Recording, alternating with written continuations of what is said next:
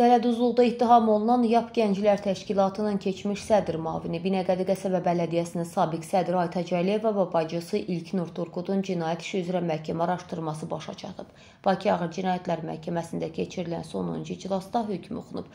Hökmə əsasən bacılar verilmiş ittihamlarla təqsirli bilinib. Aytac Əliyeva 7 il, İlknur Turqud isə 6 il müddət azadlıqdan məhrum edilib. Turqud məhkəmə zalında həbs edilib. Qeyd edək ki, Aytac Əliyeva Cinayət Məcəlləsinin külli miqdarda dələduzluq və saxta sənəd hazırlama, Turqut isə külli miqdarda dələduzluq maddəsi ilə ittiham olunur.